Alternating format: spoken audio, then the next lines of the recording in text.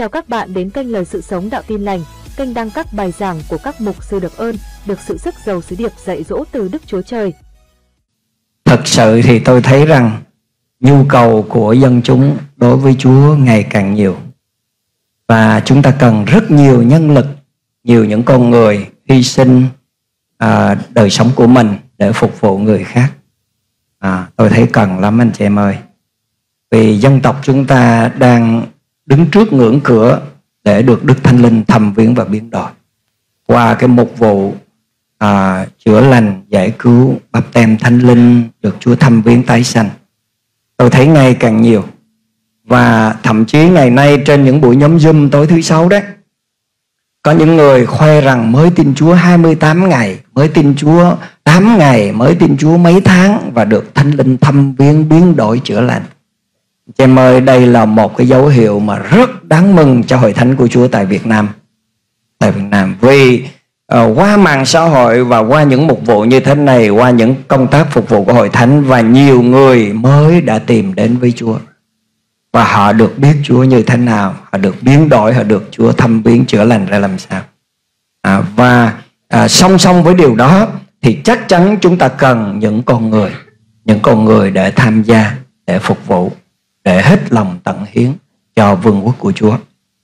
Tại vì cái cốt lõi của đạo Chúa chính là sự hy sinh thập tự giá. À, trong đạo Chúa mà bỏ thập tự giá đi, bỏ sự hy sinh đi thì nó không còn ý nghĩa nữa. Mất ý nghĩa. À, đạo Chúa là sự phục vụ. Chúng ta phải phục vụ tận tâm, tận hiến, tận tình để cho những ai đến với Đức Chúa Trời họ thấy rằng quả thực Chúa đã chăm sóc đời sống của họ. Đó là điều mình cần anh chị em ha. Cảm ơn Ngài. Và trước khi bắt đầu lời Ngài buổi sáng hôm nay đó, tôi đọc cho anh chị em nghe một lời làm chứng đã gửi đến email của tôi mới đây thôi để khích lệ anh chị em. À, tôi đọc anh chị em nghe như thế này ha, để anh chị em cũng có đức tin và những anh chị em trên mạng xã hội cũng hãy theo dõi. À, lời thư đó gửi cho tôi như thế này à, con cảm ơn Chúa đã cho con được biết đến mục sư. Hôm nay điều kỳ diệu đã xảy đến với con trong lúc con đang rửa chén bát. Và bật bài giảng của ông nghe như mọi khi. Con thấy được bài giảng mới nhất của ông là bắp tem Đức Thánh Linh. Ông ơi, đến lúc ông cầu nguyện bắt tem Thánh Linh, con cảm nhận được một luồng điện chạy rần rần tuôn từ trên đỉnh đầu con xuống tràn xuống khi ông vừa cầu nguyện và nói tiếng lạ thì môi miệng con cũng nói tiếng lạ không thôi và múa hát ca ngợi Chúa khoảng cần nửa tiếng đồng hồ. Không ngờ. Wow. Và tạ ơn Chúa, tạ ơn Chúa vô cùng vì Chúa đã lắng nghe, che chở cho con cùng gia đình. À, và ông mục sư cũng đã nghe con. Chúa biết và ông cũng biết con luôn khao khát thánh linh, luôn khao khát được giống Chúa, luôn khao khát được nghe tiếng phán của Chúa và nói tiếng lạ Mỗi lần nghe bài giảng của ông dù trực tiếp hay xem lại lần nào con cũng được Chúa thăm viếng chữa lành giải cứu. Con xin cảm ơn lòng thương xót và sự ban ơn của Đức Chúa Trời. Xin mãi mãi hát khen ngợi Chúa không thôi. Amen. Anh chị em theo à? Tuyệt vời. Đó, đây là lời chứng mới nhất. Cho nên ngày hôm nay đó tôi muốn, muốn nói với anh chị em. Đức Chúa Trời quả thực đang thăm viếng dân tộc chúng ta mọi nơi khắp mọi nơi khắp mọi nơi dù bất kể họ đang làm gì họ đều có cơ hội được Chúa thăm viếng tôi rất thích là mai mốt sẽ nhận được cái email ông mục sư ơi con đang cày ruộng Chúa thánh linh giáng xuống và con nói tiếng lạ ông mục sư ơi con đang đi ờ, dọn rác ở ngoài đường nửa đêm như thế đấy. Chúa thánh linh giáng xuống con nói tiếng lạ cả tiếng đồng hồ. Và tôi nói chuyện này là hoàn toàn có thể xảy ra. Amen chứ? Hoàn toàn có thể xảy Chúa Thánh Linh sẽ đổ thần Ngài trên mọi loài xác thịt. Và con trai, con gái chúng ta sẽ nói tiên tri, Sẽ thấy điềm lạ. Đây là thời kỳ cuối cùng. Chúng ta, tất cả chúng ta đang sống trong thời kỳ cuối của cuối cùng. Cuối của cuối cùng. Và anh chị em nghe câu Kinh Thánh đọc thuộc lòng buổi sáng hôm nay phải không ạ? Tôi cố tình chọn câu kinh thánh này để dùng lời của Chúa thức tỉnh anh chị em. Thức tỉnh anh chị em rằng đừng quên Chúa có thể trở lại đêm nay. Đừng quên điều đó. À, đừng quên điều đó. Và trong câu kinh thánh thuộc lòng anh chị em thấy ha cứ có hai người thì một người để lại một người được đem đi Chúa Giêsu nói những điều đó để lòng chúng ta phải suy nghĩ và thức tỉnh và đời sống đức tin của mình. Chúng ta đừng ngủ quên. Chúng ta đừng bao giờ mất cảnh giác với mục đích tối hậu mà Đức Chúa Trời đã chọn và lựa mình. Đức Chúa Trời chọn lựa anh chị em không phải chỉ để ban phước ngắn hạn trên đời này, không chỉ để chữa lành một vài bệnh tật trong cuộc sống anh chị em, không chỉ để cho anh chị em có cái ăn, cái mặc, có sự vui vẻ, thoải mái, tiện nghi trong cái đời ngắn hạn này. Không chỉ vậy đâu, đây chỉ là một phước hạnh rất nhỏ trong cái phước hạnh vô cùng lớn. Đó là ngài chọn lựa ông bạn chị em để được sống đời đời với ngài và tôi và bạn xem chắc chắn làm gì thì làm phải chắc rằng khi Chúa Giêsu thổi tiếng kèn cuối cùng tôi và bạn xem phải được đứng trước mặt Ngài. Còn nếu không có sự đó thì tất cả những gì anh chị em mình nhận được trên đất này đều trở nên vô nghĩa. Vô nghĩa hết, không có nghĩa lý gì hết. Chữa lành thân thể làm gì rồi cuối cùng bị ném xuống âm phủ. Giải cứu khỏi ma quỷ làm gì cuối cùng bị ném xuống hồ lửa. Chả để làm gì cả. Không để làm gì hết Mục đích chúng ta là được sống với Ngài Amen chị em Cho nên tiên tri TB Joshua, ông hay khích lệ mọi người Ông nói, một người nghèo không có một xu trong trong túi, vẫn có thể là bạn tốt với Đức Chúa Trời. Cho nên đừng có nghĩ rằng người mình thiếu thốn hay là đang cực khổ có nghĩa là chắc Chúa bỏ mình không đâu. Anh chị em vẫn là có thể làm bạn tốt với Chúa. Chúa không làm bạn với tỷ phú. Chúa không chỉ làm bạn với với triệu phú. Chúa không chỉ làm bạn với những đại gia Thiếu gia, tiểu gia gì đó. Chúa không chỉ chọn những người đó. Chúa chọn tất cả chúng ta để làm bạn với Ngài. Miễn chúng ta có đức tin. Và ông còn nói rằng một người dù có bệnh trong thân thể Đang bị bệnh trong thân thể vẫn là ứng cử viên sáng giá của thiên đàng. Đừng nghĩ rằng tôi mắc bệnh nghĩa là tôi không lên thiên đàng. Không đâu. Bệnh tật là có, đói nghèo là có. Bởi vì chúng ta đang sống trong thế giới này. Thế giới mà bị ma quỷ cai trị này. Cho nên anh chị em ơi Hãy hết sức tỉnh thức linh hồn của mình. Nha, hết sức tỉnh thức. Có một số người uh, nói với tôi rằng là Mục sư ơi Cái câu kinh thánh vừa rồi đó à, Đâu có nói với cái người có đức tin. Đây có có khả năng là hai người ở trong ruộng là một người tin người chưa tin. Còn hai người đang say cối là một người vô tín với một người tin thì người vô tín bị bỏ lại. Còn người tin thì đem đi cho nên con yên tâm lắm. Người nói tôi thế. Sau đó thì tôi mới gửi cho người đó một cái đoạn kinh thánh trong Matthew chương 25 à, và người đó sau khi đọc đoạn này thì tâm phục khẩu phục. À hóa ra người tin Chúa vẫn có thể bị bỏ lại. Chứ còn nếu mà nói với người người ngoại kia thì Chúa nói làm cái gì? Bỏ lại là chắc chắn rồi. Chúa cảnh báo làm gì? Đúng không ạ? Mà Chúa đang nói lời này cho những người đã tin Ngài. Những người đã tin Ngài nhưng mà mất tỉnh thức những người đã tin Ngài nhưng không chú ý đến đời sống của mình những người đã tin Ngài nhưng không đủ điều kiện không lắng nghe được tiếng của Ngài khi Ngài tái lâm và cuối cùng bị bỏ lại. Đấy.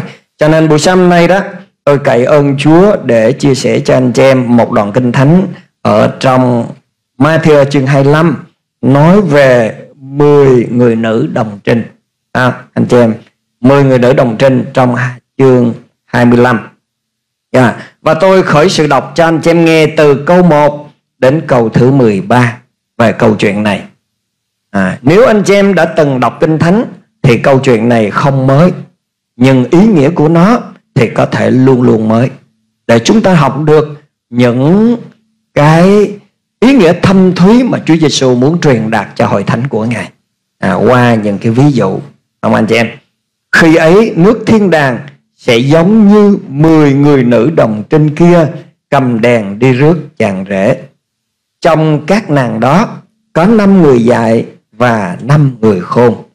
Người dạy khi cầm đèn đi thì không đem dầu theo cùng mình. Song người khôn khi cầm đèn đi thì đem dầu theo trong bình mình. Vì chàng rể đến trễ, nên các nàng thảy đều buồn ngủ và ngủ gục. Đến khuya, có tiếng kêu rằng, kia, chàng rể đến, hãy đi ra rước người các nữ đồng trinh bèn thức dậy cả, sửa soạn đèn mình. Các người dạy nói với các người khôn rằng, xin bớt dầu của các chị cho chúng tôi, vì đèn chúng tôi gần tắt. Nhưng các người khôn trả lời rằng, không e chẳng đủ cho chúng tôi và các chị thà các chị hãy đi đến người bán dầu mà mua. Xong trong khi họ đang đi mua, thì chàng rẽ đến. Kẻ nào trực sẵn thì đi với người cùng vào tiệc cưới và cửa đóng lại. Chập lâu, những người nữ đồng trinh khác cũng đến và xin rằng, hỡi chúa, hãy chúa, hỡi chúa, hãy mở cho chúng tôi. Nhưng người đáp rằng, quả thật, ta nói cùng các ngươi ta không biết các người đâu vậy hãy tỉnh thức, vì các ngươi không biết ngay, cũng không biết giờ amen đây là một đoạn kinh thánh hết sức tỉnh thức linh hồn chúng ta bởi vì 10 người nữ đồng trinh này đại diện cho tất cả những người tin Chúa.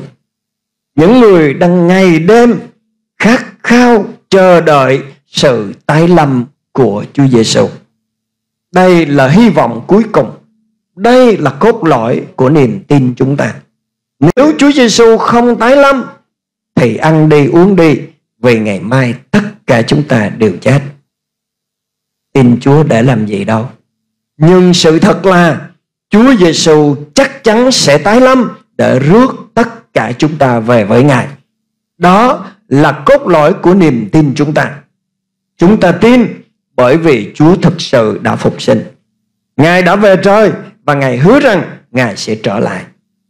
Nếu không có sự kiện này, nếu không có sự kiện Chúa sống lại, Chúa thăng thiên và Chúa hứa sẽ về trời, thì tất cả nền tảng của đạo Chúa chắc chắn bị sụp đổ và nó không khác gì những tôn giáo thế tục. À, nhưng cái điều khác biệt của tất cả chúng ta Hôm nay chúng ta nhóm lại Chúng ta thờ phượng Ngài Chúng ta đọc kinh thánh Chúng ta cầu nguyện Chúng ta kiên khen những điều ô uế của thế gian Chúng ta tránh xa những sự cám dỗ thế gian Chúng ta tiến tới một đời sống thánh khiết trọn vẹn Và giống Chúa Giêsu là bởi vì chúng ta đang chờ đợi một niềm hy vọng rằng Chúa sẽ đến rước chúng ta. Đó là lý do. Vì vậy, khi đọc đoạn này thì chúng ta biết Chúa Giêsu đang kể một câu chuyện ngụ ngôn. Tức là Chúa đang luôn lấy những hình ảnh để nói ra một sự thật. Chúa thường lấy con chim, đồng ruộng, cây lúa, người gieo giống để Ngài diễn tả bày tỏ một lẽ thật như vậy để hiểu được lẽ thật đó chúng ta phải đào sâu để biết được cả những gì mà Chúa Giêsu muốn ví sánh nó thực sự là cái gì? Giống như khi Chúa Giêsu kể câu chuyện người gieo giống. Không ạ? Có một người kia đi ra đằng gieo hạt. Có hạt thì rớt trên đường chim ăn hết. Có hạt rơi nơi bụi gai mọc lên và bị gai nó à, bao phủ không kết quả. Có hạt thì rơi trên đất đá sỏi à, mọc lên nhưng rễ cắm không sâu mặt trời dội thì nó chết mất nhưng có một số hạt thì rơi trên những đất tốt và đã được mọc lên và kết quả hạt thì ra ba chục sáu chục một trăm. Đó chú ví dụ vậy. Và các môn đồ sau đó thì đến mới hỏi riêng chúa chúa ơi hãy giải nghĩa ví dụ này cho chúng con. Thì Chúa bắt đầu giải thích hạt giống là đạo Đức Chúa Trời. Người gieo giống là người đi giảng đạo. Người à, nghe là có bốn loại người nghe. Đúng không ạ? Người nghe không hiểu thì sa tăng đến cướp Vân vân vân vân. Anh chị em đã đọc. Hiểu rồi. Còn người nào kết quả là người lấy lòng tử tế Lấy lòng chân thành Thành thật kiên trì Mà giữ lời ngay, Thì cuối cùng trên đời sống họ được kết quả. Phải không anh chị em? Và trở lại với ví dụ này Để chúng ta hiểu được ví dụ này Chúng ta cần phải hiểu Chúa đang ví sánh những vấn đề ở đây với cái gì? Dầu là cái gì? Đèn là cái gì? Năm người dạy, năm người khôn là ai? Thiên đàng là cái gì? Không à chúng ta phải hiểu. Nếu chúng ta không biết được những thứ này, Thì cái câu chuyện ngụ ngôn này rất là ít giá trị với chúng ta. Và đôi khi lẽ thật chúng ta không hiểu được. Nên lần đầu tiên khi chúng ta đọc ha, Thì chúng ta hãy chú ý đến từ khi ấy à, Khi ấy nước thiên đàng sẽ giống. Vậy thì đầu tiên chúng ta phải biết khi ấy là khi nào. Có đúng không? Khi ấy là khi nào? Nó có thời điểm của nó. Thì nước thiên đàng mới giống như câu chuyện Chúa kể. Còn trước đó có thể nó không giống. Nó là thứ khác. Nhưng mà khi ấy là khi nào nè? Cho nên chúng ta muốn biết khi ấy là khi nào Hãy lật lại một chương Ở trong 24 Chương 24 Có đúng không ạ? Thì Chúa Giêsu kể về rất nhiều những cái hiện tượng những cái sự kiện những cái dấu chỉ rằng ngài sẽ sắp tại lòng. à, tất cả anh em mình không biết chính xác ngày giờ nhưng thời kỳ thì chúng ta biết đó là sự thật rất nhiều uh, vị uh, giáo sư giáo sĩ rồi nhà truyền giáo nhà thuyết giáo đã từng giảng trong quá khứ. Ngày này tháng này Chúa sẽ tái lâm. Ngày kia tháng kia Tận thế sẽ đến. Đó anh em lục lại trong lịch sử anh em sẽ thấy rất nhiều người công bố hùng hồn. Đó thậm chí có những uh, những những những cái nhóm người là khi họ nghe những người đã giảng như vậy là họ bán hết tài sản họ bán tất cả mọi thứ và họ leo vào cái hang và họ chờ tối nay Chúa đến. Chúa không đến thôi chết queo hết trơn. Đó. Và rất là nhiều người đã sai lầm. Trong khi Chúa Giêsu đã nói rất rõ trong Kinh Thánh nhưng không chịu nghe tiếng Ngài. Chúa Giêsu đã nói rằng ngay và giờ thì không ai biết, chính con cũng không biết, chỉ có Đức Chúa Trời Cha biết mà thôi. Cho nên thưa quý ông bạn chị em, nếu quý ông bạn chị em nghe một ai đó giảng nói rằng năm này tháng nọ tận thế sẽ đến, ngày giờ kia Chúa Giêsu sẽ tái lâm Anh em đừng có tin. Vì điều đó không đúng kinh thánh. Được chưa anh chị em? Ngày giờ chúng ta không biết Nhưng thời kỳ thì chúng ta biết. À và tôi xin đọc Cái khi ấy là khi nào. À, Khi ấy là khi nào. Ở trong chương 24 à, Tôi sẽ đọc từ câu số 6 Các ngươi sẽ nghe nói về giặc Và tiếng đồn về giặc. Hãy giữ mình đừng bối rối. Vì những sự ấy phải đến Xong chưa là cuối cùng đâu. Dân này sẽ dấy lên nghịch cùng dân khác Nước nợ nghịch cùng nước kia. Nhiều chỗ sẽ có đối kém và động đất. Xong mọi điều đó chỉ là sự đầu sự tai hại. Bây giờ, người ta sẽ nộp các ngươi trong sự hoạn nạn, Giết đi, Các ngươi sẽ bị mọi dân ghen ghét vì danh ta. Khi ấy, sẽ có nhiều kẻ sa ngã vào trước cám dỗ phản nghịch nhau và ghen ghét nhau. Nhiều tiên tri giả sẽ nổi lên, dỗ dành lắm kẻ. Lại vì cớ tội ác thêm nhiều, thì lòng yêu mến của phần nhiều người sẽ nguội lạnh. Đó là khi ấy. Khi anh chị em đọc bốn câu kinh thánh này, anh chị em có thấy cái thời kỳ mình đang sống nó giống giống không anh chị em? Giống không? Chiến tranh thế giới thứ nhất. Chiến tranh thế giới thứ hai, Động đất đối kém dịch lệ. Rồi đạo đức sao anh chép? Suy đồi. Người ta bây giờ Sống nghi kỵ nhau, Hiềm khích nhau, chửi bới nhau. Còn tình yêu thương Thì hiếm hoi vô cùng. Hiếm hoi vô cùng. Bây giờ người ta nhìn nhau là chỉ thấy kẻ ăn trộm với kẻ cướp thôi à không còn thấy lòng tử tế nữa. Cho nên bởi vì sao nó biến đổi như vậy? Bởi vì Chúa Giêsu nói rằng vì tội ác gia tăng, nên con người ta đã co mình lại để thủ thế. À đúng không đừng trách con người. Bởi vì tội ác gia tăng, cho nên tôi phải thủ thế chứ. Tôi nhớ cái thời mà cha mẹ tôi còn sống đó, lâu rồi hồi còn nhỏ. Anh chị em à một cái người đi vào, ở ngồi đâu đó, đi ngang nhà.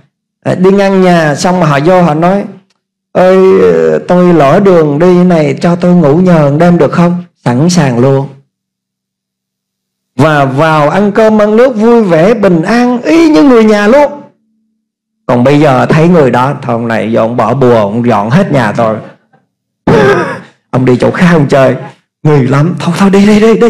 Đi nhanh lên. Lừa đảo à đúng không em bây giờ là người ta sẽ cư xử như vậy vì lừa đảo tráng, tràn lan. Người ta sống không còn tình còn nghĩa nữa. Vì sao? Tội ác gia tăng. Tội ác gia tăng. Và đây là thời kỳ mà tôi và bạn chị em đang sống. Thời kỳ chuẩn bị Chúa Giêsu tái lâm. Chúng ta đang sống trong thời kỳ cuối của thời kỳ cuối cùng. Thời kỳ cuối cùng. Chiến tranh, dịch lệ đối kém lòng người gian ác, tội lỗi tràn ngập. Cho nên tôi nghĩ rằng nhiều khi nằm suy nghĩ, chúa ơi, không biết khi nào ngài đến trước chúng con. Không biết đêm nay hay là giờ nào ngài đến trước chúng con. Và tôi nghĩ không biết anh chị em sao. Chứ riêng bản thân tôi đó, tôi thấy mình quá mỏi mệt trong thế giới này khi mà tội ác tràn lan. Khi mà nhìn vào cuộc đời, không thấy nhiều ánh sáng mà chỉ thấy tối tăm. Đọc trên báo, trên chí toàn thấy những gì đâu không. Không có một tin tức tốt lành, khích lệ nào. Toàn là thấy giết người, lừa đảo, dâm ô, trộm cướp, chiến tranh, rồi lừa lọc, nợ nần, sụp đổ không à. anh em có thấy thế không? Tất cả những tin tức ngày hôm nay đều dìm con người xuống chứ không nâng con người lên. Cho nên tôi nói thiệt với anh chị em tốt nhất là đừng đọc tôi đã thử nghiệm rồi. Một ngày mà tôi tắt toàn bộ không tiếp xúc gì đến mạng xã hội, tôi thấy tâm thần tôi nó bình an lắm. Sống sung sướng lắm. Lên núi xuống núi, ngồi nghe chim hót rồi ngợi khen chúa. Còn ngày nào mà ngồi đọc á, mặt mày cứ buồn rầu dài thường thực như cái bánh ướt vậy. Quá buồn chịu, không nổi những cái thứ đó đủ thứ hết. Đủ thứ. Cho nên chúng ta đang sống trong thời kỳ mà thực sự Chúa Giêsu chắc chắn phải tái lâm để xác lập lại trật tự của thế giới này. Chắc chắn. Không còn chịu đựng nổi nữa rồi. Không còn chịu đựng nổi nữa. Và tôi tưởng tượng cái thời kỳ chúng ta sống á, nó giống y như thời kỳ của ông Noe vậy đó. Giống y vậy đó. Gian ác tràn lan không còn ai biết Đức Chúa Trời và tôi tin rằng Chúa Giêsu chắc chắn sẽ đến sớm thôi để cứu chúng ta. Và bây giờ chúng ta trở lại với đoạn kinh thánh. Khi ấy nước thiên đàng sẽ giống như mười người nữ đồng trinh kia cầm đèn đi rước chàng rể. Nước thiên đàng đây là gì? Chúa Giêsu đã từng nói với các môn đồ rất nhiều lần. Khi các môn đồ hỏi Ngài, Nước thiên đàng ở đâu? Thì Chúa nói, Nước thiên đàng không ở kia, Không ở đây. Nước thiên đàng ở trong lòng các con. Nước thiên đàng ở trong lòng hội thánh, Nước thiên đàng ở trong lòng ông bà anh chị em đang ngồi đây, Là những người tái sanh, Là những người tin Chúa Giêsu Là những người cam kết cuộc đời mình cho Chúa Giêsu thầy anh chị em biết không? Nước thiên đàng ở trong lòng chúng và Chúa đang kể cái ví dụ Nước thiên đàng này giống như mười người nữ đồng trinh Đang cầm đèn đi rước chàng rể Có nghĩa là cái tình trạng này là cái tình trạng mà hội thánh đang có trong thời kỳ cuối cùng. Tôi và bạn cho em sống để chờ đợi ngày ngày tái lâm. Rước chàng rể mà, chờ Chúa Giêsu tái lâm chờ Chúa Giêsu đến để đón rước mình về. À, thì trong năm nàng đó trong các nàng đó có năm người dạy và năm người khôn. À, năm người dạy và năm người khôn. Như vậy mười người này đều là người có đức tin. Có đúng không chị em? Đức tin. Có đức tin mới đi đón chàng rể. Có đức tin mới chờ đợi Chúa Giêsu tái lâm. Cho nên năm mười người này đều là người có đức tin. Nhưng một nửa có chất lượng khác, một nửa lại khác. Vì vậy, trong hội thánh chúng ta hay trong hội thánh A, hội thánh B, luôn luôn có khả năng sẽ xảy ra tình trạng có những người thức tỉnh và những người không thức tỉnh. Có những người vẫn có đức tin, vẫn đi nhóm nhà thờ, vẫn đều đặn dân hiến, vẫn làm tất cả mọi công tác. Nhưng cái tình trạng tấm lòng của họ không chờ đợi Chúa Giêsu tái lâm. Họ vẫn miệt mài những chuyện gì đó ở đời này. Họ vẫn đang kiếm thêm cái gì đó ở đời này họ vẫn đầu tư cái gì đó ở đời này. Họ mãi mê cho một cái kế hoạch riêng nào đó ở đời này. Và họ mất cái tấm lòng chờ đợi.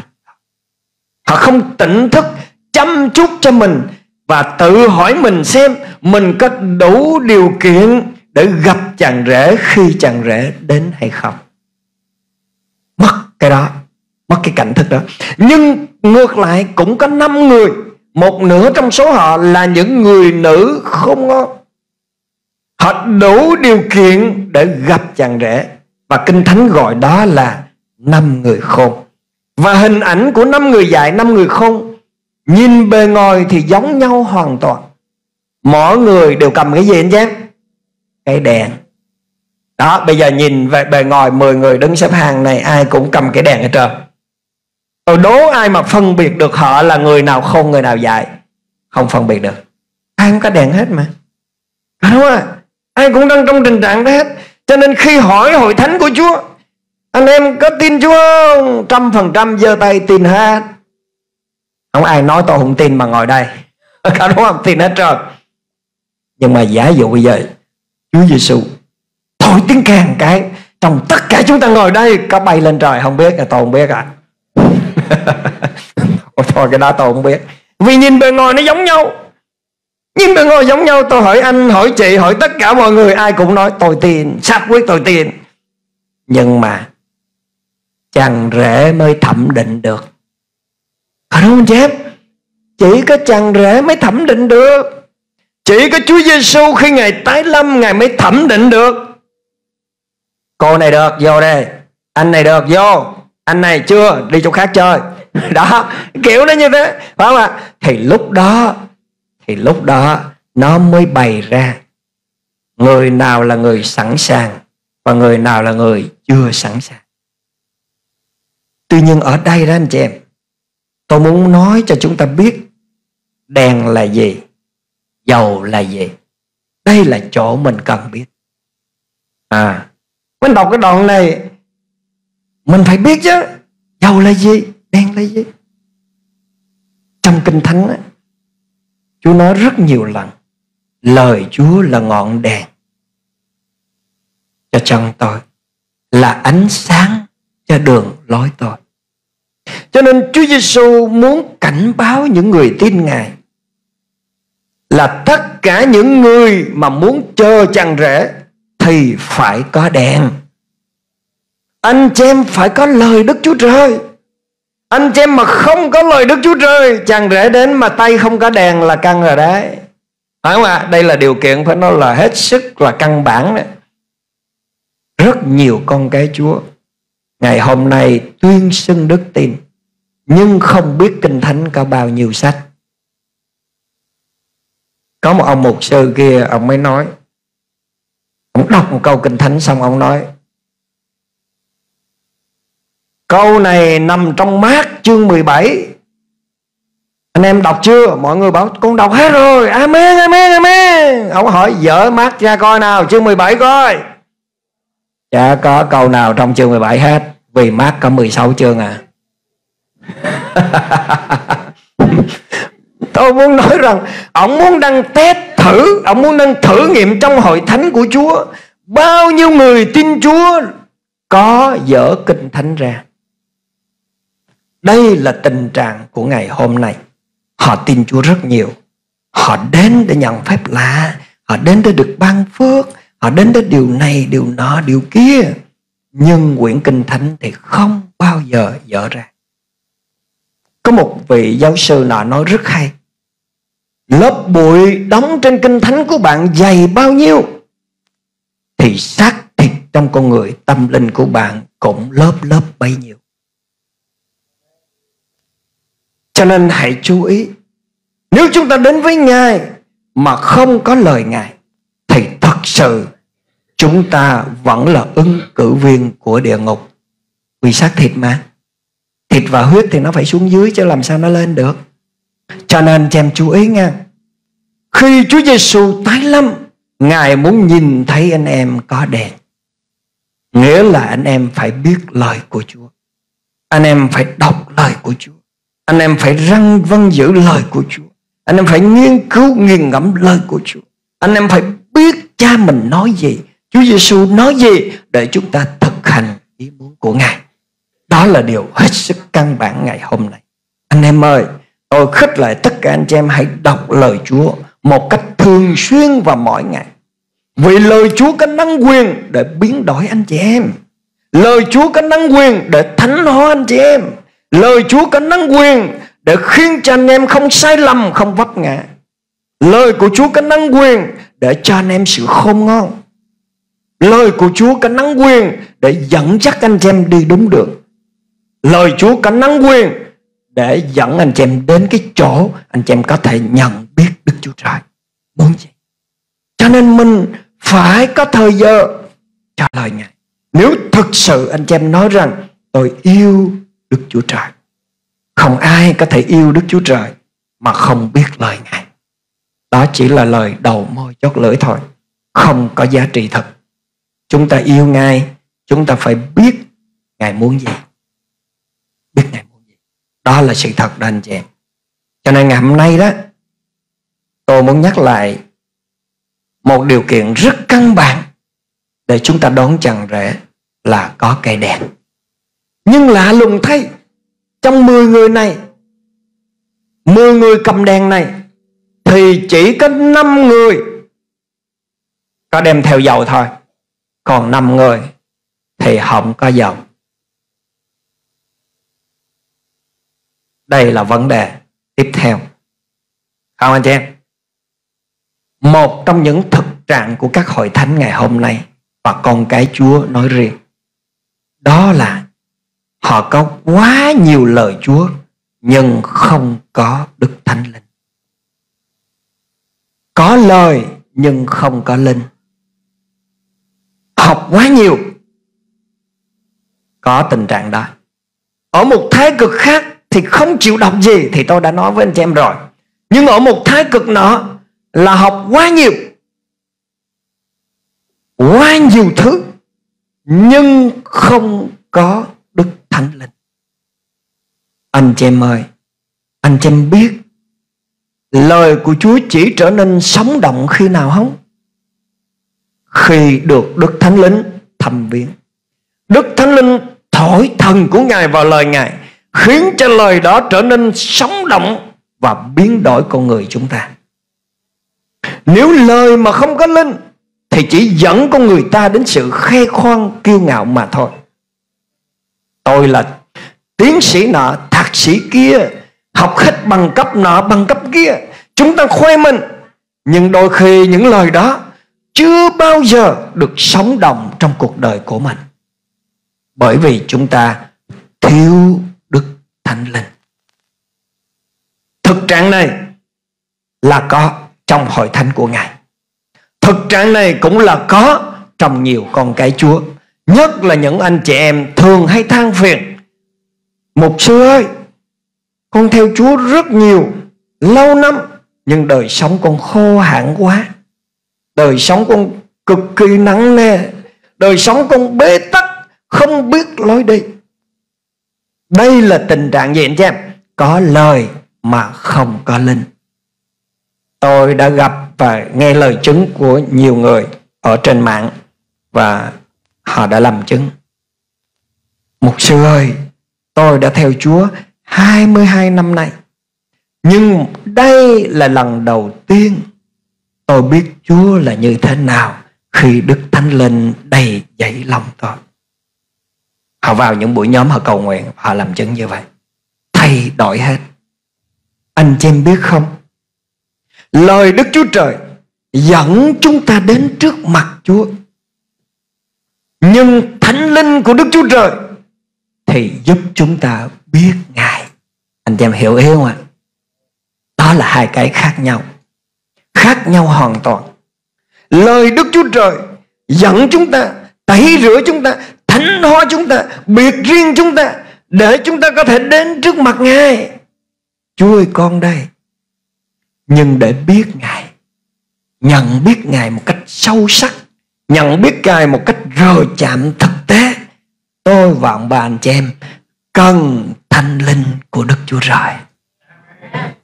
Ngọn đèn của chúng ta phải có dầu bên trong. Amen chưa? Nếu như chúng ta chỉ đem cái đèn trống rỗng đến trước mặt chàng rể, chàng rể sẽ nói, ô, không biết các ngươi. Không biết các ngươi là ai cả. Và anh em đọc kỹ, anh em sẽ thấy cái từ mà Chúa nói quả thực, ta nói cùng các ngươi, ta không biết các ngươi đâu. Cái từ này đó, anh em tra, anh em sẽ thấy, nó là cái từ nhận biết một cách sâu sắc, mối quan hệ mật thiết, dầm thấm như vợ với chồng vậy đó. Cái từ này nó có nghĩa vậy cho nên tôi mới lạ lùng khi đọc cái câu cái câu chuyện này. Thì mới lạ lùng, ô chúa mười người này đều có đức tin mười người này đều biết mình đang chờ cái gì Mười người này đều biết rằng mình đang chờ chàng rể đến để gặp Chúa. Mà tại sao bây giờ Chúa lại nói là, quả thật ta không biết các ngươi. Sao nó lạ vậy Chúa? Thì khi tôi suy ngẫm về điều này, tôi mới hiểu ra. À biết thông tin thì nó khác với biết theo kiểu mật thiết bạn bè tri kỷ với nhau. Hai cái khác nhau. Anh em có thể biết về một ông tổng thống nào đó. Khi anh em đọc trên báo trên chí Ông sinh ngày tháng năm nào Ông bao nhiêu tuổi. Bây giờ ông có vợ mấy con Anh em biết rõ hết. Nhưng mà biết về tính cách Biết về lối sống bên trong Biết về cái ông suy nghĩ Biết về tâm hồn, tâm tình của ông Thì không được à? Chỉ người nào sống cùng với ông mới biết. Amen không nhé? Sống cùng mới biết. Anh em có thể biết rất nhiều về Chúa Vì anh em đọc trong quyển kinh thánh này. Nhưng anh chị em chỉ cấp biết Chúa Khi anh em sống cùng với Ngài mỗi ngày. Đó là Đức Thánh Linh. Đức Thánh Linh đến để đưa chúng ta vào mối quan hệ mật thiết với Chúa Giêsu. Đức Thánh Linh đến để giới thiệu Chúa Giêsu cho chúng ta mặt đối mặt khiến chúng ta rơ chạm Ngài, nắm được Ngài nói chuyện được với Ngài, ăn tối với Ngài, nghe được tiếng Ngài và biết được ý muốn của Ngài. Đó chính là Đức Thánh Linh. Và trong câu chuyện này, Chúa Giêsu cảnh báo rằng những người không có dầu bên trong đèn sẽ bị bỏ lại. Bỏ lại. Điều này tôi nói với anh chị em, tôi cũng nói với tất cả những anh chị em đang theo dõi trên live stream và hội thánh của Chúa. Anh chị em hãy xem đi. Đời sống mình có tràn ngập Đức Thánh Linh hay không? Hay tôi đang cố gắng bước đi với Chúa một cách khô hạn, một cách mỏi mệt, một cách rầu rĩ mỗi ngày. Tôi đang cố gắng để lê lết đời sống tâm linh của tôi để đi với Ngài và mong đợi sự cứu rỗi một cách ờ, nào đó từ nơi Ngài. Anh chị em ơi, hãy hết sức khôn ngoan. Hãy hết sức khôn ngoan. Là dâu phải có trong đèn của mình. dâu phải có trong đèn của mình Nếu ngày hôm nay anh chị em tin Chúa Mà không có dầu trong đèn của mình, Không có một mối quan hệ mật thiết, Anh em không nghe được sự dẫn dắt của Ngài. Đời sống cầu nguyện của anh chị em Chỉ là những lễ nghi tôn giáo khô cứng. Thì coi chừng, Anh chị em bị bỏ lại. Hồng mình nói điều này phải nói thật. Chứ đôi khi tôi nói Vui mừng lên anh chị em ơi, Tất cả chúng ta đều nhắc lên trời Thì cần này Tôi cảnh báo tất cả những anh chị em mình, Bởi vì hy vọng cuối cùng của chúng ta Là phải gặp được chàng rể. Và điều kiện để gặp được chàng rể Là đèn anh chị em phải có dầu. Đó là điều kiện. Đừng giỡn với điều này, Vì đây là số phận đời đời của chúng ta. Chúng ta không được thờ ơ, Giỡn với điều này. Chúng ta không được nhẹ, Đánh giá nhẹ điều này. Vì đây là số phận đời đời của tôi và bạn chị em trong ngày sau cuối. Anh em phải có dâu của Đức Thánh Linh trong đèn của mình. Đó là điều cần phải có. Và là thay nha. Trong đây đó Trong câu 6 nói là, Câu 5 câu 6 Vì chàng rể đến trẻ nên các nàng thấy đều buồn ngủ và ngủ gục. Đến khuya thì có tiếng kêu, Kia chàng rể đến. Hãy đi ra rước người. Câu này rất là đánh động đời sống tâm linh chúng ta. Cả người dài người khôn Đều buồn ngủ hết. Cả người dài người khôn Đều ngủ gục hết. Đừng nói là người khôn là không ngủ gục. Ngủ gục hết. Tất cả chúng ta đều có thể ngủ gục đúng không chứ đừng có nói rằng tôi tâm linh đầy dậy thánh linh, tôi không ngủ gục bao giờ. Không cả chuyện. Ngủ gục tốt luôn hết. Bởi vì chúng ta đang sống trong một thế giới đầy dậy cám dỗ và phân tan chúng ta sống trong một thế giới không an toàn. Chúng ta sống trong một thế giới có thể ru ngủ chúng ta bất cứ lúc nào. Nhưng nếu chúng ta đầy dạy thánh linh, Thì khi Chúa gọi, chúng ta có thể gặp Ngài. Còn khi chúng ta ngủ mà thánh linh không có, Thì coi cũng như tôi rồi. Xong. Sợ nhất là ngủ gục mà không đầy dậy thánh linh. Hoạn nặng là có, Bệnh tật là có, Nợ nần là có, Đói nghèo là có, khó khăn là có. Nhưng Chúa muốn trong mọi hoàn cảnh đó anh chị em phải đi dậy Đức Thánh Linh. Đó là điều Chúa muốn. Còn nếu trong những hoạn nạn đó mà anh chị em không đầy dạy Thánh Linh nữa thì thôi xong rồi. Rất nguy hiểm rồi. Có phải không? Cho nên như câu Kinh Thánh hồi nãy tôi chia sẻ cho anh chị em lúc đầu giờ. Hãy nhịn nhục, kiên cường và tin cậy vào lời hứa của Chúa. Trong mọi trường hợp, anh chị em mình đừng bao giờ mất tỉnh thức. Đừng bao giờ thối lùi. Đừng bao giờ cắt ngắn thời giờ thông công mật thiết với Chúa mỗi ngày. Có một tình trạng là khi mọi sự đều êm, tiền trong tài khoản lúc nào cũng rủng rỉnh vài ba chục tỷ, đất nhà phơi phới không à tất cả xe hơi, đồ chạy ngon lành, vợ con đề hòa thì một ngày tôi luôn dành hai tiếng để thờ phượng Chúa.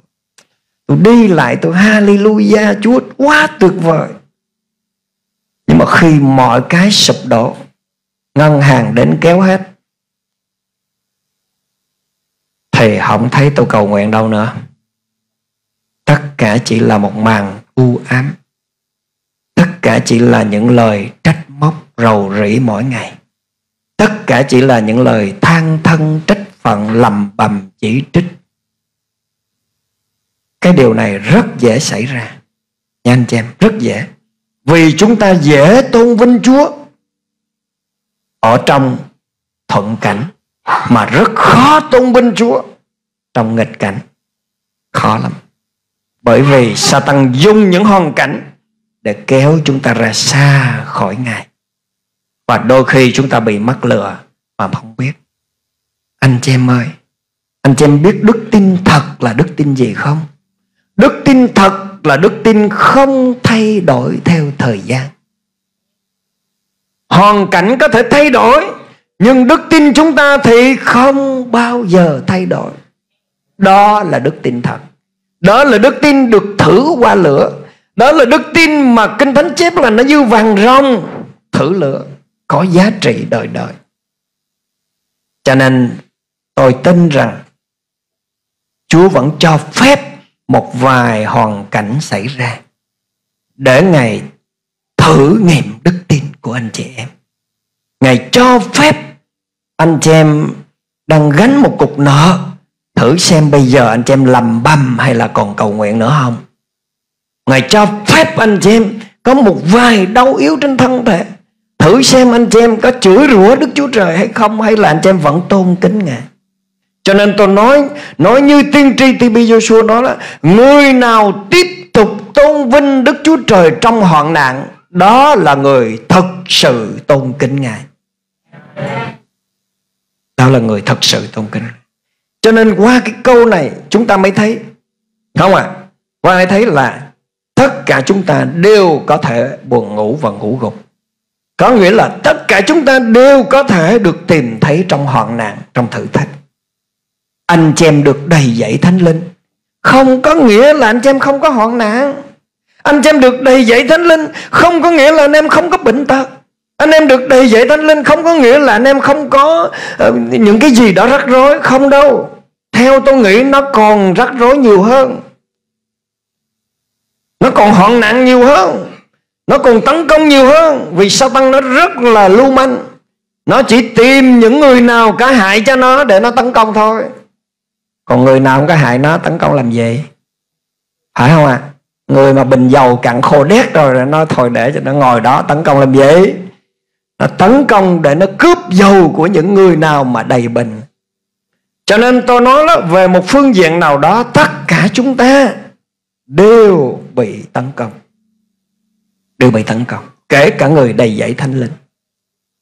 Và một điểm nữa ở đây chúng ta thấy đó là chàng rể đến đến trẻ và đêm khuya có tiếng. Đến trễ và đêm khuya, nó nói lên cái sự gì anh em bất thành linh Chúa đến vào cái giờ mà anh chị em không thể ngờ được. Đó là cái thứ nhất. Cái thứ hai là Chúa có thể đến vào cái giờ mà anh chị em ngủ say mê nhất. Đêm khuya mà, Ai cũng ngủ say hết. Nhưng Chúa đến lúc đó đó. Nó nói về cái đời sống tâm linh của chúng và mời người này đều nghe và đi đón. Và câu chuyện thì anh em biết rồi. Mười người có dầu trong bình được rước vào. Còn à, 5 người được dầu trong bình rước vào. Còn năm người kia thì lội ra. Và năm người này bắt đầu lúc này mới đi tìm giải pháp. Bắt đầu xin các chị ơi chia cho tôi ít dầu và người khôn nói sao anh chứ không được. Không thể chia đâu. Các chị phải nên đi mua đi. Chứ còn chia là không được. Chia là tôi thiếu rồi tôi không vô được thì sao? Không? Á anh chị em, tôi muốn cảnh tỉnh chỗ này. Các bạn không được cứu. Nhờ các bạn ở trong một hội thánh đầy dẫy thánh linh. Các bạn cũng không được cứu vì ông mục sư của các bạn đầy dẫy quyền năng. Hiểu ý tôi muốn nói không ạ? Các bạn chỉ được cứu khi bình dầu của các bạn được đổ đầy. Rất nhiều người tự hào, Tôi chắc chắn được cứu rồi Vì tôi nhóm chỗ nhà muôn dân mà Coi chừng Coi chừng Không có chuyện đó đâu Dầu này không sang sẻ được Dầu này chỉ có mua trục tiếp từ Chúa Giêsu mà thôi. Và tôi nói với anh chị em, tôi nhấn mạnh cái chữ mua ở đây. Sự cứu rỗi, sự tái sanh là miễn phí. Nhưng mà dâu của Thánh Linh có nghĩa là đại diện cho mối quan hệ mật thiết của anh chị em hàng ngày với Chúa là phải trả giá. anh em hiểu không ạ anh em, được sự cứu rỗi, được tái sanh, ok.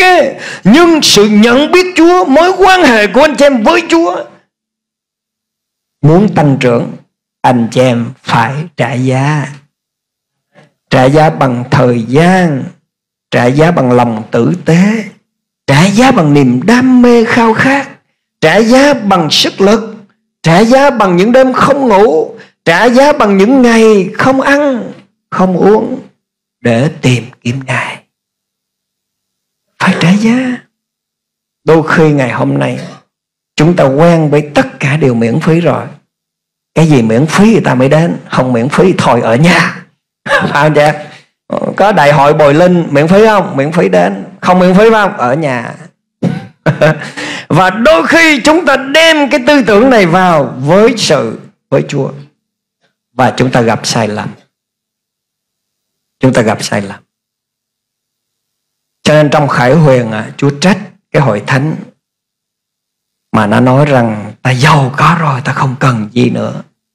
Thì chúa mới nói cho anh chị em, thà các ngươi hãy đi mua dầu của ta, sức mắt để ngươi được được thấy, mua.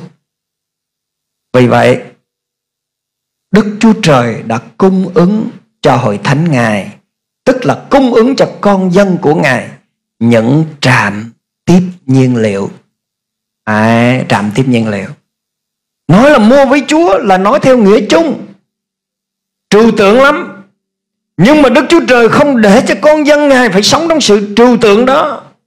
Chung chung đó, Ngài thiết lập trên đất này những trạm bán dầu của Ngài.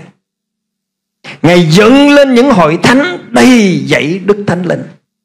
Ngài dựng lên những hội thánh mà nơi đó Chúa Thánh Linh vận hành một cách mạnh mẽ, đầy quyền năng phép lạ, bắt tem Thánh Linh, ân tứ Thánh Linh, sức giàu Thánh Linh để cho con cái của Ngài đến được tiếp nhiên liệu. Này hiểu không ạ? Anh em có thể ở chỗ kia mà anh em thấy ô chú ơi con cạn dầu rồi hôm nay con đi mua xăng cái đây. Anh em chạy đến nhà muôn dân mua đầy bình và đi về. Được chưa? Đây là lý do Chúa dựng lên những trạm tiếp liệu của Ngài khắp mọi nơi. Lý do Ngài dựng lên những đại hội bồi linh Những đại hội ân tứ Những đại hội những con người làm những cái chức vụ đó Để cho anh em chạy đến và được đổ đầy Được thanh lành. Giống như năm 2018 vậy đó Tôi chạy sang tận Lagos, Nigeria Được đổ đầy nhiên liệu Amen. Năm 2016 tôi chạy tuốt sang Mã Lai để được gặp người Đức Chúa Trời Adret Bissoni để được đổ đầy nhiên liệu. Amen chứ Chúng ta phải đi để được tiếp nhiên liệu. Có một số người ngày hôm nay Bị khủng bố tinh thần, Cho nên là bắt ngọn chỗ thôi. Mặc dù bình xăng cạn rồi, Nhưng mà bảo đi đổ đầy nhiên liệu, Không được đi. Lấy nước lã đổ vô. Mặc dù ờ, vẫn đầy đó, Nhưng mà đèn nó không có cháy. Nước lã làm sao nó cháy được? Không à? Lấy nước lã đổ vô. Đấy mày đầy dạy thánh linh rồi đó, còn đi đâu nữa? Nhưng mà nước lã không phải là dầu, Không cháy được. Tôi nói với anh chị em, hãy kiểm tra bình dầu của mình. Anh em có đang cháy cho Đức Chúa Trời hay không? Môi miệng anh em có đang cháy cho Chúa hay không? Tấm lòng anh em có đang cháy cho Chúa hay không? Cuộc đời anh em có đang cháy cho Chúa hay không? Nếu không kiểm tra bình dầu của mình đi. Và phải nhanh chóng can đảm khôn ngon Để đi tiếp nhiên liệu. Amen. Anh em đến những nơi đó để được đổ đầy Chứ anh em có làm gì đâu mà phải sợ. Nhưng mà rất nhiều con cái Chúa Rất sợ điều này. À, sợ bị khiển trách, sợ bị dứt phép, sợ bị này cuối cùng ôm ở bình nước lã chết luôn. Có phải không? Đó, không nên. Không nên như vậy. Chúa bảo sao? Ở đây nè. À ở đây nè. Nhưng các ngươi, người không trả lời rằng e không đủ cho chúng tôi và các chị. Thà các chị hãy đi đến người bán dầu mà mua. Có những người bán dầu có những hội thánh bán dầu.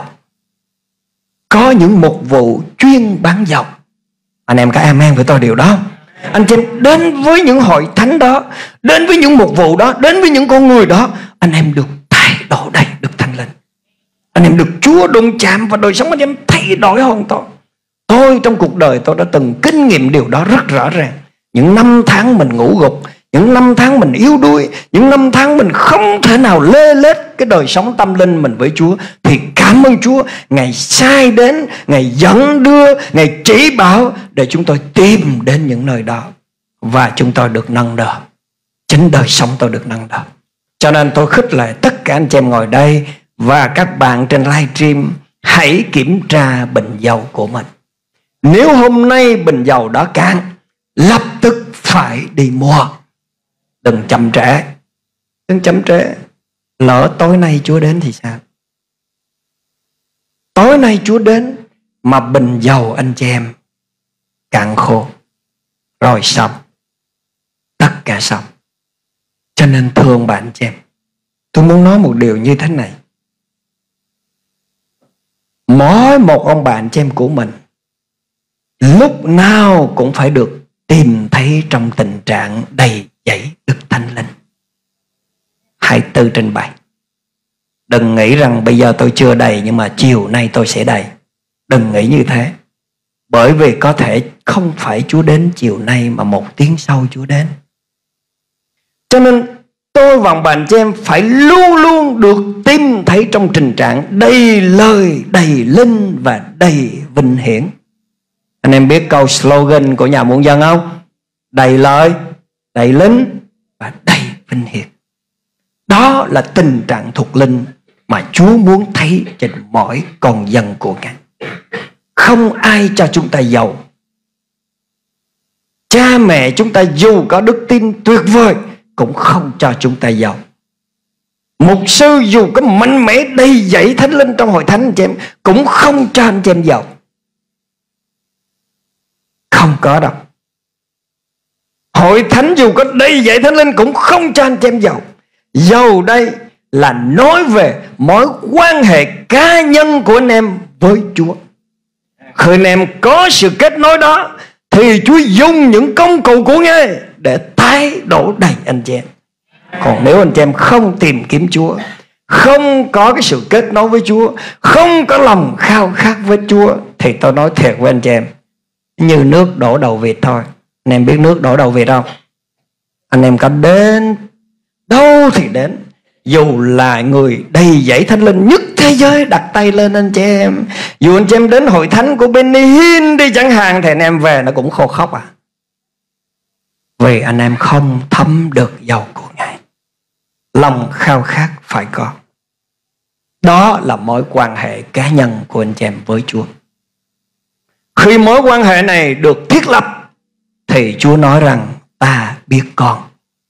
Anh em hiểu á, ta biết con.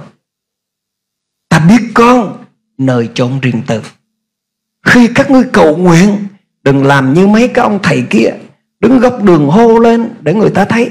Nhưng khi các ngươi cầu nguyện, hãy vào phòng riêng đóng cửa lại.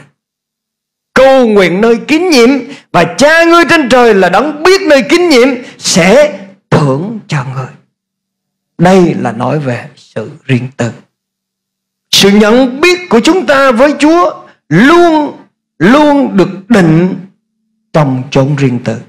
Đây là mối quan hệ riêng tư của mỗi một cá nhân với chúa. Tôi đến đây, tôi đứng đây, tôi không thể thiết lập mối quan hệ của anh chị em với chúa được. Không thể. Tôi chỉ có thể giảng lời ngay cầu nguyện cho anh chị em, để anh chị em được có cái sức mạnh để bước đến với ngài nhưng anh chị em nhận được từ Ngài hay không là do đức tin trong tấm lòng của anh chị. Anh chị em phải ở riêng với Ngài. Không ai cứu được chúng ta. Ngoại trừ đức tin chúng ta nơi Chúa Giêsu. Ok chưa anh chị em ạ? À? Cho nên tôi cảnh tỉnh lại anh chị em ha. Đừng bao giờ tự hào rằng mình đang nhóm trong một hội thánh đầy dạy thánh linh.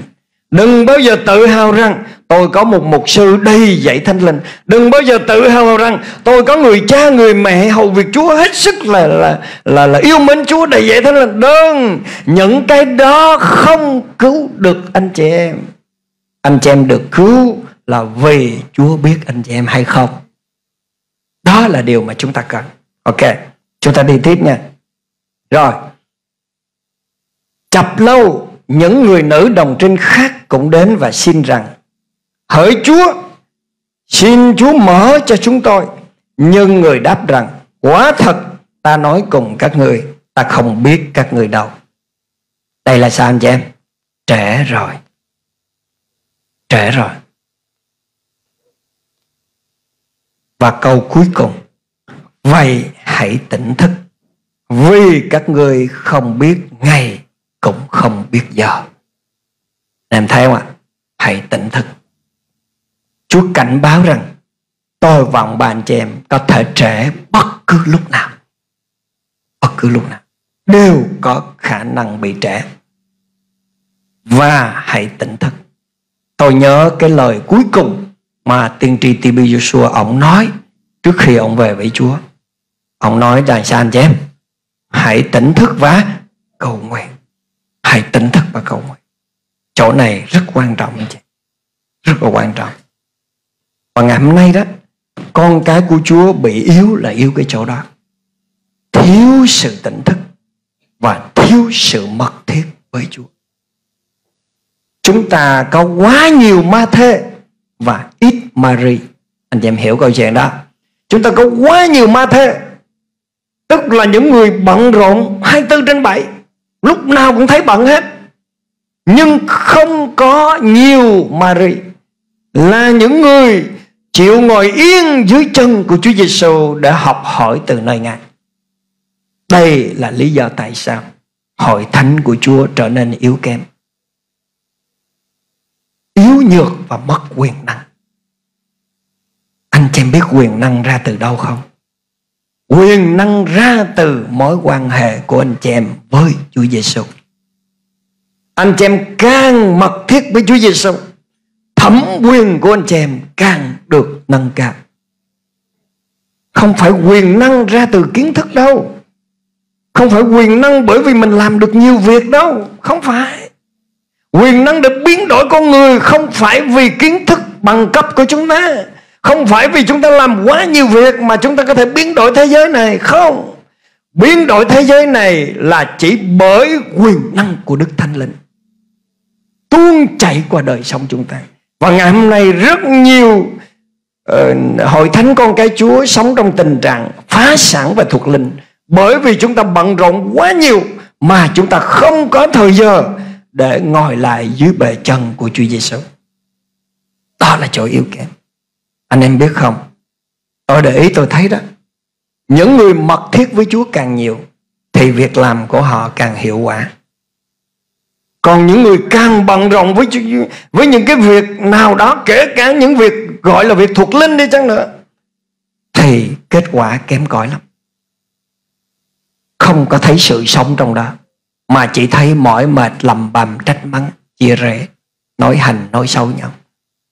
Cho nên chị em, tôi không phải cổ suý cho sự lười biếng, nhưng tôi đang nói về cái thứ tự ưu tiên trong đời sống chúng ta. Chúng ta phải đến với Chúa trước, sau đó mới làm tất cả những gì cần làm. Chúng ta phải đến với Chúa để nhận lãnh mạng lệnh của Ngài. Sau đó mới thực hiện mạng lệnh của Chúa. Bằng cách đó, chúng ta mới có nguồn lực, có sự giúp đỡ, có sự cố vấn, có sự dẫn dắt, có sự ban ơn, có thêm ân điển để chúng ta hoàn thành. Anh chị em ạ à. vì vậy, trong đời sống tâm linh, anh chị em ơi hãy dành thời giờ nhiều nhất có thể để được thông công với Chúa và đổ đầy Đức Thánh Linh trên tấm lòng của mình. Khi Đức Thánh Linh đầy dẫy anh chị em, anh chị em sẽ biết Chúa. Anh chị em biết Chúa có nghĩa là anh chị em tiếp cận được với tình yêu không giải thích được bằng lời. Và chính tình yêu thương đó nó sản sinh ra tất cả mọi việc làm một cách tự nhiên. Anh em hiểu tôi muốn nói không ạ? À? à, tình yêu thương của chúa trong lòng nó sẽ đẩy anh chị em. Cầu nguyện chữa lành giải cứu cho người ta. Tình yêu thương của chúa trong lòng nó đẩy anh chị em. Ca hát thờ phượng chúa trong hội thánh. Tình yêu thương Chúa trong lòng Nó đẩy anh chị em. Dân nhà cửa mình làm điểm nhóm. Tình yêu thương Chúa trong lòng Nó đẩy anh chị em Mở cửa để tiếp đón những con người cùng khổ và giúp đỡ họ. Tình yêu thương Chúa trong lòng Nó sẽ chỉ cho anh em tất cả những việc làm Theo ý muốn của Đức Chúa Trời. Còn nếu chúng ta không có điều đó Mà chúng ta cố gắng làm, Thì anh chị em ơi, Chúng ta đang tự hành xác của mình. Tôi nói thiệt sự như thế. Con không nói dấu gì anh chị em. Hội thánh nhà muôn dân đây đang làm công việc gì anh chị em? Giải cứu chữa lành phải không ạ? Có bà xã tôi biết đây, Một tuần là con như Quá tải luôn. Các loại các kiểu trên đời. Đến nỗi mà gọi quẹo cả lưng luôn. Vì phải giải quyết. Và tôi nói chân thành một lời nói rất chân thành. Nếu Chúa không cảm động tâm lòng tôi Tôi ngắt tất cả mọi liên lạc, Tôi lên núi tôi ngủ cho nó sướng. Tôi chả làm gì cả. Đó là sự thật một trăm phần trăm. Tôi sẽ không làm gì, Không nghe ai, Không đứng đây giảng luôn, Không làm gì. Việc gì chúng ta phải làm? Nhưng vì đấng cảm động trong lòng chúng ta Chúng ta mới thấy được rằng Thế giới đổ vỡ này Cần được chữa lành. Cần được giải phóng Cần được giúp đỡ Cần được để cho họ nhận được tình yêu của Ngài Để họ tôn vinh Ngài. Đó là động lực của chúng ta. Đó là động cơ của tấm lòng chúng ta. Đó là sức mạnh mà chính chúng ta có Để phục vụ Đức Chúa Trời Không mỏi không mệt. Anh chị em ơi, nếu phục vụ Chúa mà không bởi động cơ tình yêu của Chúa ra từ sự mật thiết thì tôi nói với anh chị em mình sẽ đi những năm tháng mỏi mệt vô cùng. Và kết thúc của nó là sự lầm bầm oan trách. Chúa ơi Sao con phục vụ Chúa 30 năm thế này Mà bây giờ cái chân con nó gãy thế này? Lưng con nó đau thế này? Và oan trách, oan trách, oan trách oan trách. nhưng nếu tình yêu của Ngài cảm động lòng chúng ta Chúng ta làm. Chúng ta sẽ làm trong sự vui mừng và tạ ơn Chúa Vì con có cơ hội được phục vụ Ngài và cộng đồng. Chúng ta làm với tấm lòng tạ ơn Vui mừng và phấn khởi Bởi vì Chúa ơi Con đang làm thành ý muốn của Ngài. Mẹ anh chị em Tôi muốn nói điều đó để khích lại anh chị em. À, Khích lại anh chị em. Hãy có một khởi đầu đúng trong chức vụ của mình. Hãy có một khởi đầu đúng trong mọi hành trình mà mình bước đi với Chúa, khởi đầu đúng đó là gì? Sự mật thiết với Chúa Giêsu bởi Đức Thánh Linh. Tôi qua hơn 30 năm ở trong Chúa, tôi muốn khích lệ anh chị em. Hãy đầu tư tất cả cho mối quan hệ riêng tư với Chúa Giêsu anh em không lãng phí điều đó đâu. Không phí thời gian đâu vì mọi mục vụ, mọi chức vụ, mọi phép lạ, mọi sự sức giàu, mọi quyền năng, mọi điều gì mà anh chị em có, nó ra từ mối quan hệ của anh chị em với Chúa Giêsu một cách cá nhân. Thật sự nó là như vậy còn mình không có cái công thức nào hết á. Không có công thức. Đi với Chúa không có công thức. Cho nên qua cái bài chia sẻ buổi sáng hôm nay, Tôi muốn cảnh tỉnh đến hội thánh của Chúa điều gì? Điều thứ nhất, Tất cả chúng ta đang sống trong thời kỳ cuối của thời kỳ cuối cùng. Và Chúa Giêsu có thể trở lại bất cứ lúc nào Mà chúng ta hoàn toàn không biết được. Chúng ta không biết ngay biết giờ đâu. Chúng ta chỉ biết thời kỳ mà thôi. Đây là thời kỳ cuối cùng. Đó là điểm thứ nhất. Điểm thứ hai tôi muốn nói với hội thánh. Mục đích tối hậu của niềm tin chúng ta Là phải được gặp Chúa Giêsu trong ngày cuối cùng. Nếu mục đích đó không thành, Thì tất cả công trình của chúng ta phá sản. Anh chị em gái amen điều đó, Phá sản hết. Không có ý nghĩa gì cả. Vì vậy, Điểm thứ ba tôi muốn nhắc đến hội thánh là, Anh chị em ơi, Hãy tỉnh thức và sẵn sàng đủ điều kiện để gặp chàng rể của mình. Điều kiện đó là anh chị em phải đầy lời đầy linh và đầy vinh hiển trên đời sống cá nhân của mình. Chúa không chấp nhận một tiêu chuẩn nào thấp hơn tiêu chuẩn đó. Đừng bao giờ để người ta lừa dối rằng, Đức tin tôi tà tà thế này, đủ cứu rỗi rồi. Đừng để người ta lừa. Đừng để người ta lừa rằng trên đàn trên thiên đàng có thùng cắt tông núp vào đó là đủ rồi. Không có đâu. Trên thiên đàng chỉ có biệt thự giác vàng kim cương thôi. Người nào đầy linh, đầy lời, đầy vinh hiển Được ở trong đó. Còn tất cả đứng bên ngoài. Anh em muốn đứng bên trong hay đứng bên ngoài? Hãy đầy linh, đầy lời, đầy vinh hiển của Chúa. Mỗi giây. Và điểm thứ ba, điểm thứ tư, tôi muốn khích lại anh chị em. Đó là Không ai có thể ban dầu thanh linh cho anh chị em. Không ai có thể làm đầy đời sống anh chị em Bởi dầu thanh linh của Ngài. Không ai có thể cứu rỗi thay anh chị em. Anh chị em phải tự đến với Chúa. Và dầu này phải trả giá để mua. Trả giá bằng thời gian trả giá bằng sức lực, trả giá bằng tài sản, trả giá bằng niềm khao khát, trả giá bằng tất cả những gì nguồn lực nào có trong cuộc sống này để tiến đến gần Chúa Giêsu trong mối quan hệ mật thiết với Ngài. Phải trả giá. Anh em ghi nhớ điều đó nha. Không có miễn phí. Sự tái sanh là miễn phí.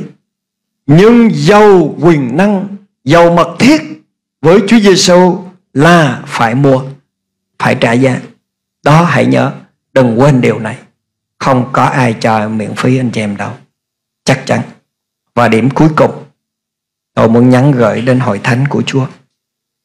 Tất cả những mục vụ việc làm đích thực mà được Đức Chúa Cha ấn chứng, nó phải xuất phát từ sự cảm thúc của tình yêu Đức Chúa Trời được đổ đầy trong lòng anh em bởi Đức Thánh Linh.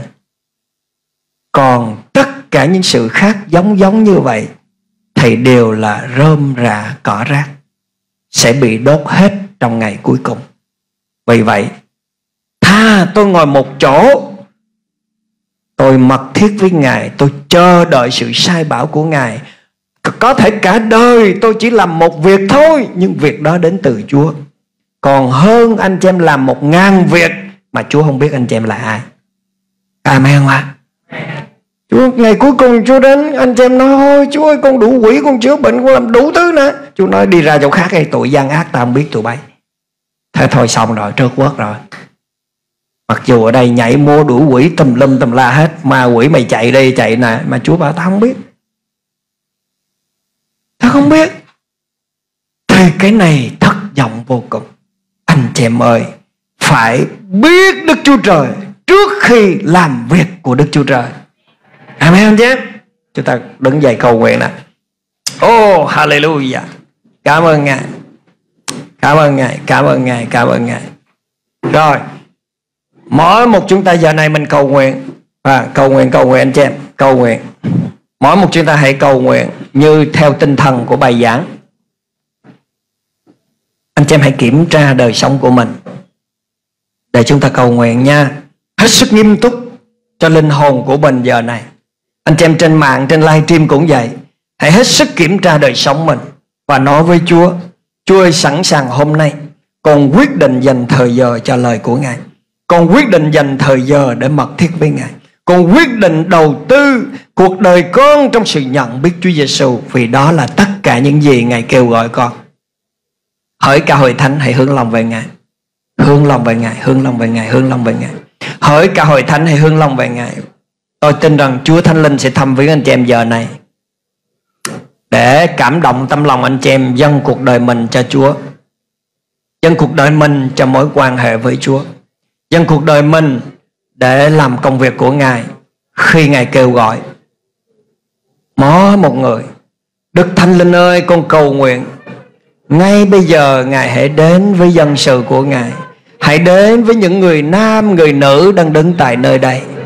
Con cầu nguyện cha ơi, Ngài hãy tuôn đổ thần linh là đấng giúp đỡ an ủi khích lệ chúng con trên hội thánh của Ngài và đến tất cả những người nào đang nghe và chịu ảnh hưởng với lời cầu nguyện này. Cha ơi, hãy tuôn đổ trên dân sự của Ngài. Linh cầu nguyện hãy đến trên dân sự của Ngài. Lòng khát khao hãy đến trên dân sự của Ngài. Sự mật thiết, Chúa ơi, hãy thiết lập trên trái tim và tấm lòng của dân sự Ngài. Con cầu nguyện trong danh Chúa Giêsu quyền năng. Con cầu nguyện trong danh Chúa Giêsu quyền năng. Tiếp tục đến cho em Tiếp tục tiếp tục tiếp tục tiếp tục tiếp tục tiếp tục. Đừng bao giờ bỏ lỡ cơ hội này. Đức Chúa Trời sẽ đến để cho anh chị em được thức tỉnh. Ngài chạm anh chị em, để lòng anh chị em được thức tỉnh giờ này. Anh chị em thức tỉnh để nhìn về sự cứu rỗi, sự sống đời đời mà Chúa ban cho mình. Đó là hy vọng cuối cùng của niềm tin chúng ta. Không phải chúng ta sống ở đây đời đời. Tất cả chúng ta rồi sẽ ra đi. Chúng ta đi đâu? Chúng ta gặp ngài hay không gặp ngài được quyết định bởi cái quyết định của anh em ngày hôm nay anh chị em hãy thưa với ngài, chúa ơi, con quyết định bám vào ngài. Con quyết định trả giá cho bình dâu thiên đàng mà ngài muốn dành cho con. Lạy chúa, hãy đến thăm viếng con giờ này, cầu nguyện đến chị em. Anh em hãy nói một cách nghiêm túc với tấm lòng mình, không phải nói chỉ để đó, không phải chỉ nói cho nó có cái lời để nói. Nhưng tôi muốn anh chị em hãy làm một cam kết trong tấm lòng của mình với Chúa Giêsu ngày hôm nay cam kết đi anh chị em. Đức tin nơi Chúa Giêsu là sự cam kết. Nếu không có sự cam kết này, tất cả chỉ là ảo thôi phải có sự cam kết trong tấm lòng. Lấy Chúa con cam kết để đến với Ngài. Con cam kết để tìm biết Ngài. Con cam kết dù trời nắng hay trời mưa, dù thuận cảnh hay nghịch cảnh, con không thay đổi niềm tin của con và sự tìm kiếm con với Ngài. Bất kể điều gì xảy ra, Chúa hãy giúp con. Cầu nguyện đến cho em. Cầu nguyện cầu nguyện cầu nguyện cầu nguyện. Mỗi một anh chị em mình hãy thưa với Chúa. Mỗi một anh chị em mình hãy cầu nguyện với Chúa điều đó. Ô, cha trong danh Chúa Giêsu quyền năng. Cha trong danh Chúa Giêsu quyền năng. Cha trong danh Chúa Giêsu quyền năng. Ô thánh linh ơi, hãy tuôn đổ trong hội thánh của ngài. Thánh linh ơi, hãy chạm trong hội thánh của ngài. Thánh linh ơi, hãy chuyển động trong hội thánh của ngài. Cảm ơn ngài, cảm ơn ngài, cảm ơn ngài, cảm ơn ngài, cảm ơn ngài, cảm ơn ngài. Chúa ơi, Hãy chạm vào lòng dân sự của Ngài hôm nay. Lạy Chúa, Hãy biến đổi tâm lòng dân sự Ngài ngày hôm nay. Lạy Chúa, hãy ban phước cho dân sự Ngài ngày hôm nay. Trong danh Chúa Giêsu quyền năng. Trong danh Chúa Giêsu quyền năng. Lạy Chúa, trong danh Chúa Giêsu quyền năng. Tiếp tục đen chen. Tiếp tục nào. Tiếp tục nào. Tiếp tục nào. Tiếp tục nào. Tiếp tục nào mọi bức tường nào đang ở giữa anh chị em với Đức Chúa Trời tôi bẻ gãy trong danh Chúa Giêsu quyền năng. Mọi bức tường nào đừng đứng giữa anh chị em với Đức Chúa Trời tôi bẻ gãy và làm nó sụp đổ trong danh Chúa Giêsu quyền năng. Tôi khai thông mọi con đường trước mặt anh chị em với Chúa giờ này, hãy được hanh thông trong danh Chúa Giêsu quyền năng giờ này. Trong danh Chúa Giêsu quyền năng giờ này trong danh Chúa Giêsu quyền năng giờ này, trong danh Chúa Giêsu quyền năng giờ này, nhân danh Chúa Giêsu quyền năng giờ này. Oh hallelujah hallelujah hallelujah hallelujah hallelujah. Nữa đi anh chị em nữa đi. Chúa bắt đầu thăm viếng anh chị em đó. Chúa bắt đầu thăm viếng, Chúa bắt đầu thăm viếng. Tôi muốn cả hội chúng hết lòng cầu nguyện nè, Khát khao hết lòng nè. Hãy nói với Chúa, thăm viếng con giờ này, Đổ thánh linh con trên con giờ này, Tái đổ đầy con giờ này. Cầu nguyện đời thánh ơi, Cầu nguyện cầu nguyện cầu nguyện. Oh hallelujah. Oh hallelujah. Oh hallelujah. Oh hallelujah. Oh hallelujah. Hallelujah. Phải đổ đầy dân sự của Ngài. Ngài là đấng làm cho bình dâu Chúng con được đổ đây. Hãy được đổ đây. Hãy được đổ đây. Hãy được đổ đây. Hãy được đổ đây Trong danh Giêsu quyền năng. Oh hallelujah. Oh hallelujah. Hãy được đổ đây. Hallelujah. Hãy được đổ đây, Hallelujah. Holy Spirit. Hãy chạm lòng dân sự của Ngài. Tiếp tục đến cho em Tiếp tục nào. Hết lòng hết lòng hết lòng hết lòng. Nhà ta là nhà cầu nguyện. Hãy đổ đầy thánh linh Trong danh Chúa Giêsu quyền năng. Chúa ơi, chạm con. Chạm anh chị em con chamanjem.com chamanjem.com chamanjem.com chamanjem.com chamanjem.com giờ này. Trong danh Chúa Giêsu quyền năng trong danh Chúa Giêsu quyền năng trong danh Chúa Giêsu quyền năng oh, Hallelujah. Hallelujah. Hallelujah. Oh Hallelujah. Oh Hallelujah. In Jesus name Oh Hallelujah Trong danh Chúa Giêsu quyền năng Tiếp tục tiếp tục tiếp tục tiếp tục tiếp tục tiếp tục tiếp tục tiếp tục tiếp tục tiếp tục Oh da da da e da da da da da e da da da da da da da Shiva, baba Ka ka ka ka ka da da da da da Shiva, Oh da da da da da da da da da da Hallelujah Hallelujah. Hallelujah. Lạy Chúa, hãy giúp cho tình trạng khô hạn của con giờ này.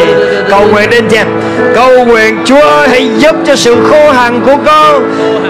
Giờ này Chúa giúp con, Đổ đầy con, Chạm con, Khiến con biết Ngài Biết Ngài là ai. Biết Ngài làm gì cho con? Biết Ngài là cha của tâm thần con. Chúa Thánh lên ơi, giúp con Giúp con Giúp con Giúp con. Cầu nguyện để hội thánh, Cầu nguyện để hội thánh, Cầu nguyện để hội thánh Trong danh Chúa Giêsu quyền năng Oh hallelujah.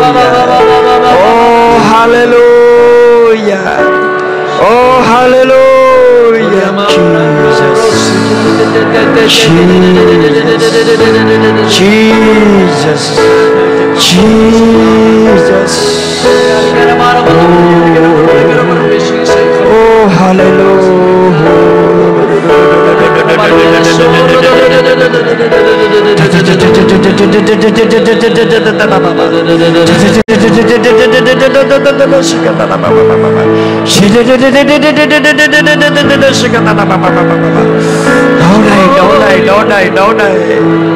Oh hallelujah.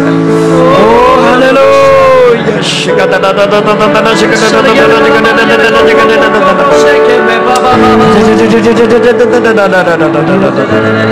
Một lần nữa mỗi một người hãy nói, Chúa Thánh Linh ơi, đổ đầy cho con. Chúa Thánh Linh ơi, bắp tem Thánh Linh cho con. Chúa Thánh Linh ơi, nhúng chìm con vào linh của Ngài. Cầu nguyện cho em tiếp tục nào. Hết lòng hết lòng với đức tin. Ô thần Đức Chúa Trời chuyển động giờ này động giờ đây thân của Ngài chuyển động giờ đây Ngài chạm đến mỗi tấm lòng giờ đây Ngài chạm đến mỗi tấm lòng giờ đây Ngài chạm đến những tấm lòng khô hạn giờ đây Ngài làm cho nó được tươi mới giờ đây Trong danh Chúa Giêsu quyền năng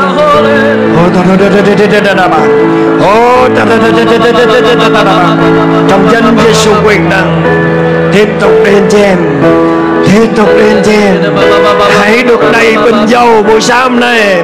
Hãy được đầy bình dầu từ ngày buổi sáng nay. Anh chị em hãy kết nối trực tiếp với Chúa Giêsu giờ này. Và Ngài sẽ làm đầy bình dầu của anh chị em buổi sáng nay. Hãy nói với Chúa Giêsu Chúa Giêsu ơi Làm đầy con thánh linh của Ngài. Kêu lên chị em Kêu Ngài, kêu Ngài, kêu Ngài. Oh, tarabakasi Oh,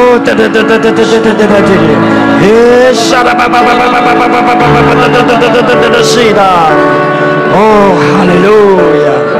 Hallelujah. Hallelujah. Hallelujah. Hallelujah. Hallelujah. Jesus. Jesus. Jesus. Con nói sự sáng của Ngài hãy đến nơi đây. Nhân danh Chúa Giêsu, sự sáng của Ngài hãy đến nơi đây. Sự sáng của Ngài hãy ngập tràn nơi đây. Sự sáng của Ngài hãy ngập tràn nơi đây.